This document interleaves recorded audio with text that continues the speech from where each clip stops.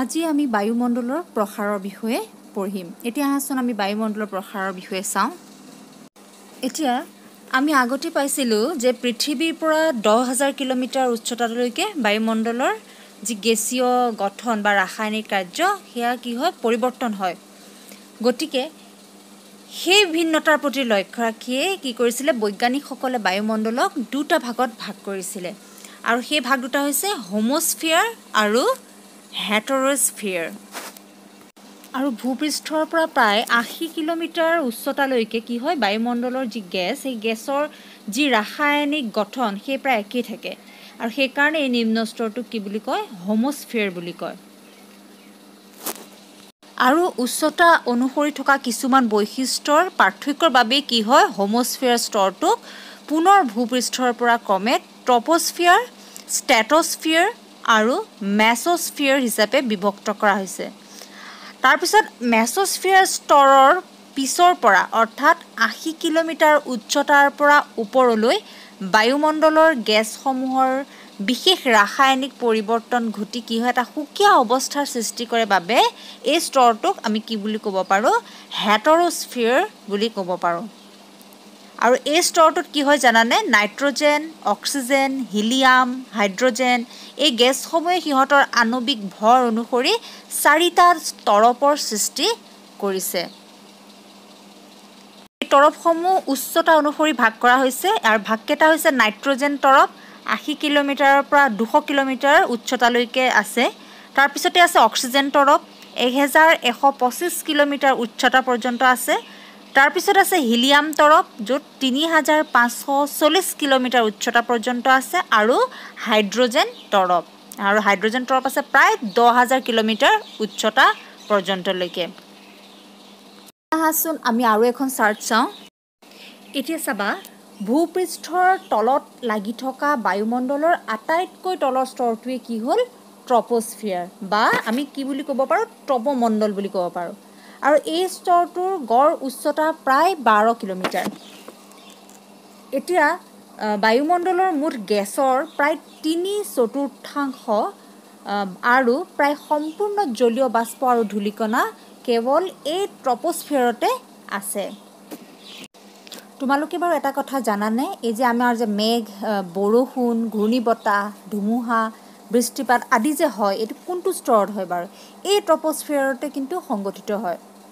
আৰু এই স্তৰৰ যিটো ঊৰ্ধ সীমা যিটো দা ওপৰৰ সীমা সেই সীমাটোক আমি কি বুলি ক'ব পাৰোঁ? ট্ৰপ'প'জ বুলি ক'ব পাৰোঁ। আৰু ই প্ৰায় এক দশমিক পাঁচ কিলোমিটাৰ ডাঠ। আৰু এই ট্ৰপ'প'জত কি হয়? বায়ুৰ যি উষ্ণতা সেই উষ্ণতা হ্ৰাস পায়। প্ৰায় ষাঠি ডিগ্ৰী চেণ্টিগ্ৰেড হয়। অৱশ্যে ট্ৰপ'প'জ স্তৰত উচ্চতা একেই থাকে। আৰু এই ট্ৰপ'স্ফিয়াৰতে আমি বাস কৰোঁ। আৰু যে ওপৰত আমি দেখা পাওঁ এৰোপ্লেন হেলিকপ্টাৰ এইবিলাক উৰা যে আমি দেখোঁ এয়া সকলো ট্ৰপ'স্ফিয়াৰতে হয়। ইয়াৰ পিছত আমি আহিছোঁ ষ্ট্ৰেটস্ফিয়াৰ ট্ৰপ'স্ফিয়াৰৰ ঠিক ওপৰৰ স্তৰটোৱেই হ'ল ষ্টেটস্ফিয়াৰ বা আমি তাক স্তৰমণ্ডল বুলি ক'ব পাৰোঁ। প্ৰকৃততে ট্ৰপ'স্ফিয়াৰ আৰু ষ্টেটস্ফিয়াৰ স্তৰ দুটাৰ মাজৰ যি সীমা সেই সীমাটোকে কি বুলি কোৱা হয়? ট্ৰপ'প'জ বুলি কোৱা হয়। আমি আগৰ চিত্ৰটোত দেখিবলৈ পাইছিলোঁ। আৰু মেঘ সৃষ্টিকে কৰি বিভিন্ন ধৰণৰ বতৰজনিত যিবিলাক কাৰ্যকলাপ বায়ুমণ্ডলৰ এই স্তৰটোত কি হয় দেখিবলৈ পোৱা নাযায়। কিন্তু ট্ৰপ'পজৰ পৰা ওপৰলৈ ষ্টেটস্ফিয়াৰত বায়ুৰ উচ্চতা কি হয় ক্ৰমে বৃদ্ধি পায়। আৰু এই ষ্টেটস্ফিয়াৰৰ নিম্ন ভাগত থকা প্ৰায় ষাঠি ডিগ্ৰী চেণ্টিগ্ৰেড উচ্চতালৈ এই স্তৰটোৰ উচ্চ ভাগত প্ৰায় জিৰ' ডিগ্ৰী চেণ্টিগ্ৰেড হয়। আৰু এই স্তৰটোত ডাৱৰ নাথাকে। সেইকাৰণে ইয়াক আমি ডাৱৰবিহীন বুলি ক'ব পাৰোঁ। আৰু ডাৱৰবিহীন এই স্তৰটোত কি হয়? বতাহৰ গতি প্ৰায় আনুভূমিকভাৱে এই স্তৰৰ মাজেদি কি হয়? আকাশী পথবোৰ ৰচনা কৰা হৈছে। বায়ুমণ্ডলৰ এই স্তৰটোতে কি হয়? অ'জন গেছৰ এটা স্তৰো আছে। আৰু অ'জন গেছে কি কৰে বাৰু? অ'জন গেছে কি কয়? অ'জন গেছৰ যি অণু সেয়া কি কৰে? সূৰ্যৰ পৰা অহা যিবিলাক জীৱৰ বাবে ক্ষতিকাৰক অতি বেঙুনীয়া ৰশ্মি সেইটো শোষণ কৰি লয় অ'জন গেছে। আৰু ইয়াৰ ফলত কি হয়? ষ্টেটস্ফিয়াৰত বায়ুৰ উষ্ণতা বৃদ্ধি পায়। আৰু ট্ৰপ'পজৰ পৰা ষ্টেটছফেয়াৰ স্তৰটো প্ৰায় চল্লিছ কিলোমিটাৰ ওপৰলৈ বিস্তৃত। আৰু এই ট্ৰপ'স্ফেয়াৰ যিটো ঊৰ্ধসীমা সেই ঊৰ্ধসীমাটোক আমি কি বুলি কওঁ? ষ্টেটছফ'জ বুলি কোৱা হয়। ট্ৰপ'স্ফিয়াৰ আৰু ষ্টেটছফিয়াৰ সামৰি ভূপৃষ্ঠৰ পৰা ষ্টেটছপ'জলৈ গড় উষ্ণতা হয় প্ৰায় উচ্চতা হয় প্ৰায় পঞ্চাছ কিলোমিটাৰ। ইয়াৰ পিছত আমি আহিছোঁ মেছ'স্ফিয়াৰ তিনি নম্বৰৰ স্তৰ।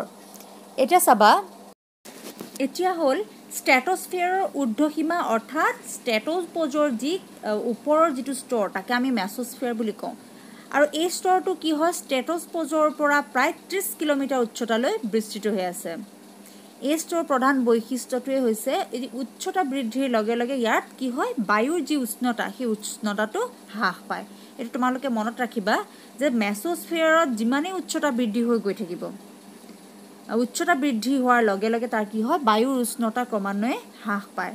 আৰু এইদৰে ওপৰলৈ ক্ৰমান্বয়ে উষ্ণতা হ্ৰাস পায়। এই স্তৰটো প্ৰায় কি হয়? আশী কিলোমিটাৰ উচ্চতাত থকা সীমা মেছ'প'জৰ নিম্নতম হান এশ ডিগ্ৰী চেণ্টিগ্ৰেড হয়। হট এয়াৰ বেলুনছবিলাক যে ইয়াতে মেছ'স্ফিয়াৰতে দেখা যায়। এতিয়া আমি আহিছোঁ থাৰ্মস্ফিয়াৰ। এতিয়া মেছ'স্ফিয়াৰৰ ঊৰ্ধসীমা অৰ্থাৎ মেছ'পজৰ ঠিক ওপৰৰ ষ্ট'ৰটোক আমি কি বুলি কওঁ? থাৰ্মস্ফিয়াৰ বা তাপমণ্ডল। এতিয়া বায়ুমণ্ডলৰ এই স্তৰটো প্ৰায় আশী কিলোমিটাৰ উচ্চতাত থকা আৰু মেছ'পজৰ পৰা প্ৰায় চাৰিশ কিলোমিটাৰ উচ্চতালৈ ই বিস্তৃত হৈ আছে। আৰু ই হেটৰস্ফিয়াৰ স্তৰৰ নিম্ন ভাগত আছে। এই স্তৰত কি হয়? বায়ুৰ উষ্ণতা পুনৰ উচ্চতা বৃদ্ধিৰ লগে লগে ক্ৰমান্বয়ে বৃদ্ধি পায়। আৰু সেয়েহে বায়ুমণ্ডলৰ এই স্তৰটোৰ নাম কি দিয়া হৈছে? থাৰ্মস্ফিয়াৰ। বায়ুৰ উষ্ণতা প্ৰায় ষোল্লশ পঞ্চাছ ডিগ্ৰী চেণ্টিগ্ৰেড পৰ্যন্ত বৃদ্ধি পায় এই স্তৰত। আৰু ইয়াত বায়ুৰ ঘনত্ব প্ৰায় শূন্যলৈ হ্ৰাস পায়। আৰু উল্লেখযোগ্য যে এই স্তৰতে কি হয় বৈদ্যুতিক আধাৰ সম্পন্ন আয়ন কণাও আছে। সেয়েহে এই স্তৰটোক আয়নস্ফেয়াৰ বুলিও কোৱা হয়। আৰু আমি যিবিলাক ছেটেলাইটৰ কথা কৈছোঁ ৰেডিঅ' তৰংগ সেই সেইবিলাকো ইয়াতে প্ৰতিফলিত হোৱা দেখা যায়। এতিয়া আমি আহিছোঁ এক্স'স্ফিয়াৰ অৰ্থাৎ থাৰ্মোস্ফিয়াৰৰ ওপৰত থকা বায়ুমণ্ডলৰ আটাইতকৈ টপ অৰ্থাৎ আটাইতকৈ ওপৰত থকা শীৰ্ষতম তৰপটোৱে কি হৈছে? এক্স'স্ফিয়াৰ আৰু এই তৰপটো কি হৈছে? বায়ুমণ্ডলৰ পৰা চাৰিশ কিলোমিটাৰ উচ্চতাৰ পৰা প্ৰায় দহ হাজাৰ কিলোমিটাৰ উচ্চতালৈকে বিস্তৃত হৈ আছে। আৰু এই উচ্চতাত কি হৈছে? বায়ুৰ অণু পৰমাণুৰ যি ঘনত্ব সেই ঘনত্ব অতি নিম্ন হৈছে। কেৱল হাইড্ৰজেন আৰু হিলিয়াম গেছৰ প্ৰাধান্যৰ বাবে এই স্তৰত বায়ু কি হয়? অতি পাতল হয়। আৰু বায়ুমণ্ডলৰ এই পৰ্যায়ত কি হয়? বায়ুৰ উষ্ণতা প্ৰায় পাঁচ হেজাৰ পাঁচশ পঞ্চাছ ডিগ্ৰী চেণ্টিগ্ৰেডলৈও বৃদ্ধি পোৱা দেখা যায়। এতিয়া তোমালোকৰ মনত হয়তো এটা প্ৰশ্ন আহিছে মই ইয়াত চিত্ৰ দি থোৱাৰ দৰে বায়ুৰ ঘনত্ব কম আৰু বায়ুৰ ঘনত্ব বেছি। এতিয়া তোমালোকৰ মনত হয়তো প্ৰশ্ন হৈছে যে বায়ুৰ ঘনত্ব ওপৰলৈ কম আৰু তললৈ বেছি কিয় হয়? এই কথাটো জানিবলৈ আহাচোন আমি এটা পৰীক্ষা কৰি চাওঁ। ঘনত্ব ওপৰলৈ কম আৰু তললৈ বেছি। এই পৰীক্ষাটো কৰিবলৈ আমাক কি লাগিব?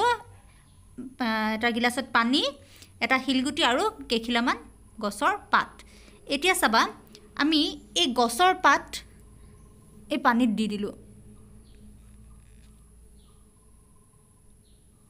এতিয়া পাতকেইটা ওপৰতে আছে পানীৰ নহয় জানো? এতিয়া আমি এটা শিলগুটি পানীত দি দিলোঁ। এতিয়া শিলগুটিটো কিন্তু পানীৰ তলত সোমাই গৈছে। আৰু পাতকেইখিলা ওপৰতে আছে। সেয়া নিশ্চয় দেখিছা। এইটো কাৰণে মই তোমালোকক পৰীক্ষাটো দেখুৱাব বিচাৰিছিলোঁ যে ইয়াৰ পৰা আমি অনুমান কৰিব পাৰিম যে কি হয় ওপৰলৈ বায়ুৰ ঘনত্ব কম হয় আৰু তললৈ বায়ুৰ ঘনত্ব বেছি হয় যাৰ কাৰণে শিলগুটিটো ডুবি গৈছে। পৃথিৱীৰ চাপমণ্ডলৰ আমি এটা ছবি যদি চাওঁ তেতিয়া আমি বুজিবলৈ সহজ হ'ব। এতিয়া চাবা পৃথিৱীৰ বিভিন্ন অঞ্চল বা ঠাইত সাধাৰণতে দুই প্ৰকাৰৰ বায়ুৰ চাপ লক্ষ্য কৰা হয়। এটা হৈছে উচ্চ চাপ আৰু নিম্ন চাপ। এতিয়া বায়ুমণ্ডলৰ চাপৰ তুলনামূলক তাৰতম্য অনুসৰিয়ে কি হৈছে? পৃথিৱী পৃষ্ঠত প্ৰধানকৈ চাৰিটা চাপ বলয় বা চাপমণ্ডল চিনাক্ত কৰা হৈছে। এতিয়া সেইকেইটা হৈছে নিৰক্ষীয় নিম্ন চাপমণ্ডল। তাৰপিছত আহিছে উপক্ৰান্তীয় উচ্চ চাপমণ্ডল উপমেৰুদেশীয় নিম্ন চাপমণ্ডল বা বলয় আৰু মেৰুদশীয় উচ্চ চাপ বলয় বা মণ্ডল। এতিয়া আমি এইখিনিৰ ওপৰত জানিম। এতিয়া তোমালোকে চাবা এই চিত্ৰটোত ইয়াত শূন্য ডিগ্ৰী দিছে ইয়াৰ বিষুৱ ৰেখাৰ পৰা উত্তৰে এই ওপৰলৈ যোৱাখিনি এয়া উত্তৰ মেৰু আৰু তললৈ দক্ষিণ মেৰু এতিয়া শূন্য ডিগ্ৰীৰ পৰা ওপৰলৈ দহ শতাংশ অৰ্থাৎ উত্তৰে দহ শতাংশ আৰু দক্ষিণে দহ শতাংশ দহ অক্ষাংশ।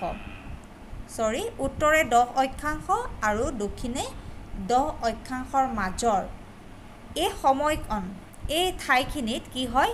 সূৰ্যৰ যি ৰশ্মি সেই সূৰ্য ৰশ্মি কি হয় ইয়াত? লম্বভাৱে পৰে। অৰ্থাৎ পোনপটীয়াকৈ সূৰ্য ৰশ্মি এই অঞ্চলটোত পৰে। যাৰ কাৰণে এই অঞ্চলটোত কি হয়? বায়ু উত্তপ্ত হৈ থাকে। আৰু উত্তপ্ত হোৱাৰ ফলত ইয়াত বায়ু কি হয়? পাতলো হয় আৰু ইয়াৰ ঘনত্বটো হ্ৰাস পায়। ফলত এই অঞ্চলত কি হয়? নিম্ন চাপৰ সৃষ্টি হয়। আৰু এই অঞ্চলটোত কি হয়?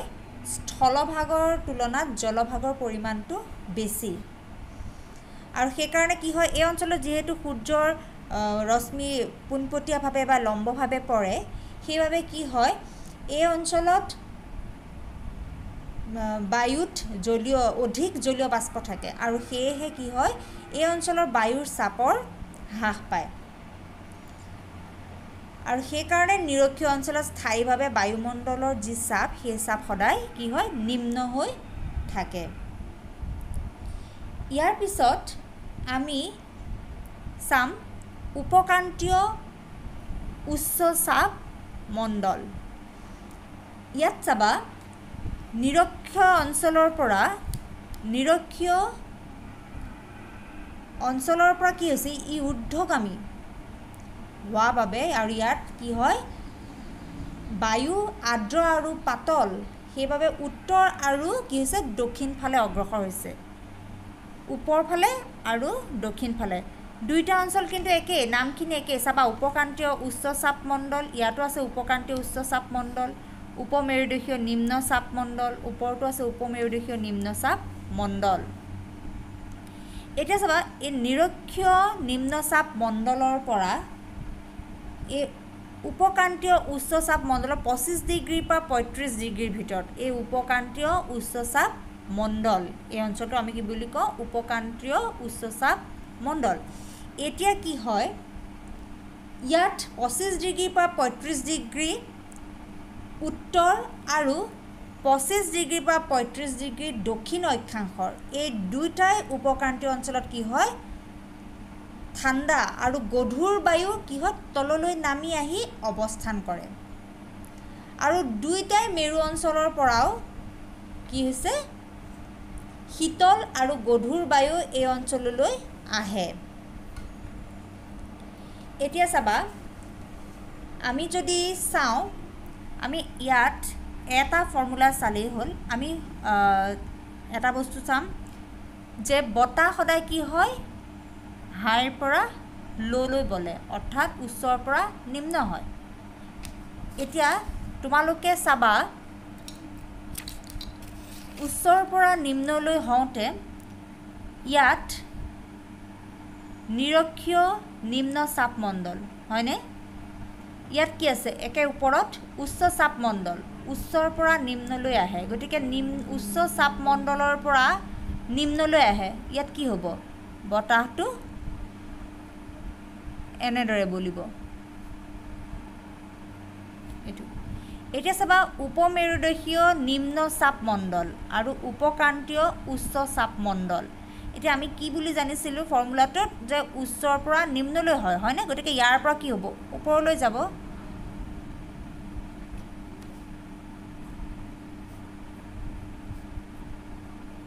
এনেদৰে।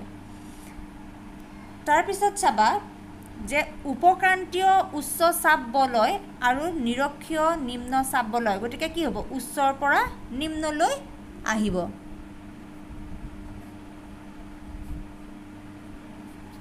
এনেদৰে।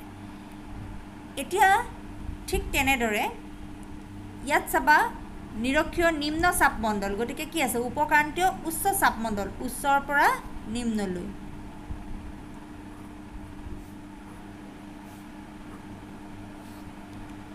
তাৰপিছত আহিছে উপক্ৰান্তীয় উচ্চ চাপমণ্ডল আৰু উপমেৰুদেশীয় নিম্ন চাপমণ্ডল। এতিয়া কি হ'ব? তললৈ আহিব। ঠিক তেনেদৰে চাবা মেৰুদশীয় উচ্চ চাপ মণ্ডল আৰু উপমেৰুদশীয় নিম্ন চাপ মণ্ডল গতিকে ইয়াত কি হ'ব? ওপৰলৈ যাব।